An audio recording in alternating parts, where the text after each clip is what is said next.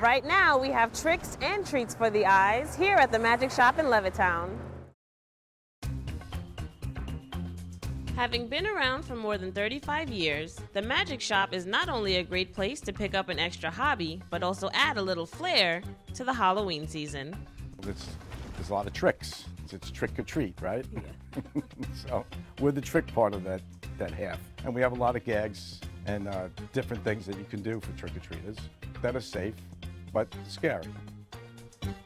Magic Shop owner Phil Ciasentini has helped many people realize their magical potential throughout the years. I'd say no one's better than Phil. Nothing's better than this magic shop, and this is probably one of the best places I've seen. I love it. Phil's a great guy. He's, he's great what he does. He's my magic mentor, of course. You know, like um, I, I live like right around the corner from here. I always love coming down here. You know, I come down with my friends. It's always a fun experience.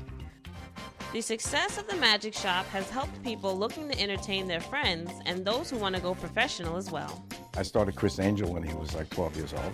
He was coming to the store probably for about seven, eight years before he started to get famous, basically. And now he's like the best magician in the world. And I'm proud to say that he came out of the store, that we taught him a lot of stuff. I want to be a professional magician myself, actually. But of course, that's going to take time, effort, and practice. Quick fact did you know trick or treating, also known as guising, came to North America during the early 1900s?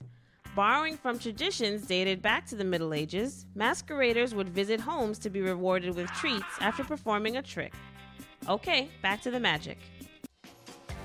I care about my customers. I want them to learn. I won't show them things that they can't do, and I want them to be successful at what they do. For 38 years, we've been helping people find what they need. You know, we have a lot of hard-to-find items, and we know how to use them.